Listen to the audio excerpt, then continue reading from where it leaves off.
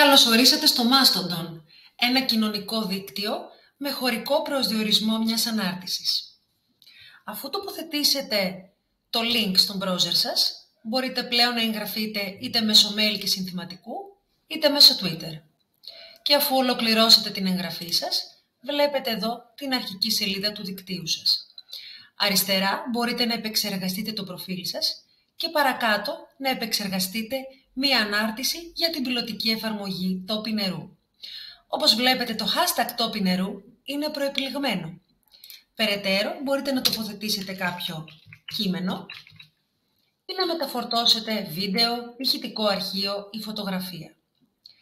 Παρακάτω μπορείτε να βάλετε μία ετικέτα στο μέρος, στο σημείο δηλαδή, όπου θέλετε να συνδυαστεί με την ανάρτησή σας έστω ότι μιλάμε για το συντριβάνι της πλατείας συντάγματος.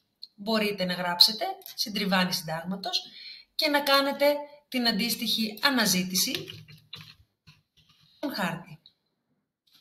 Επιλέγετε και πατάτε τούτ.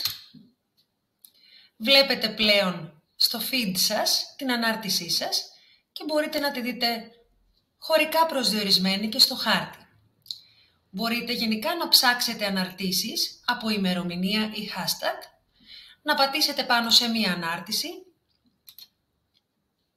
και περαιτέρω είτε να απαντήσετε στην ανάρτηση, είτε να την κάνετε repost, να την επιλέξετε ως αγαπημένη ή να την αποεπιλέξετε, να την μοιραστείτε και να την κοινοποιήσετε, να την τοποθετήσετε σε κάποιον σελίδοδείκτη, να τη διαγράψετε και ούτω καθεξής.